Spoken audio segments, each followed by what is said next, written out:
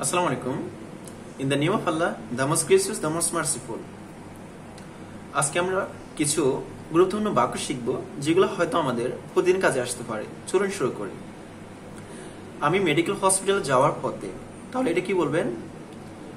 I am on the way to medical hospital I am on the way to medical hospital আমি medical হসপিটালে যাওয়ার পথে।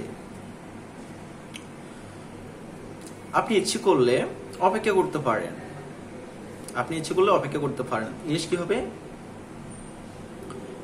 You can wait if you like you can wait if you like ইচ্ছে করলে আপনি অপেক্ষা করতে পারেন। ইচ্ছে করলে আপনি পড়তে পারেন। তাহলে ইংলিশ কি হবে? You can read if you like you can read if you like ইচ্ছে করলে আপনি পড়তে পারেন।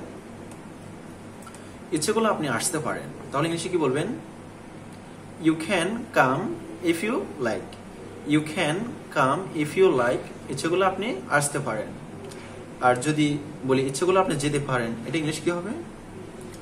You can go if you like you can go if you like ইচ্ছে করলে আপনি যেতে পারেন।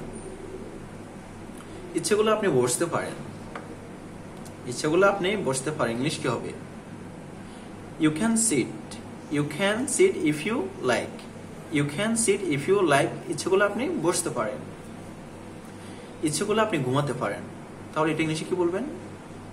ইচ্ছে করলে আপনি ঘুমাতে পারেন। You can sleep you can sleep if you like ইচ্ছে করলে আপনি ঘুমাতে পারেন। ইচ্ছে করলে আপনি শিখতেও পারেন। ইচ্ছে করলে আপনি শিখতে পারেন। তাহলে কি বলবেন? You can learn if you like you can learn if you like ইচ্ছেগুলো আপনি শিখতে পারেন।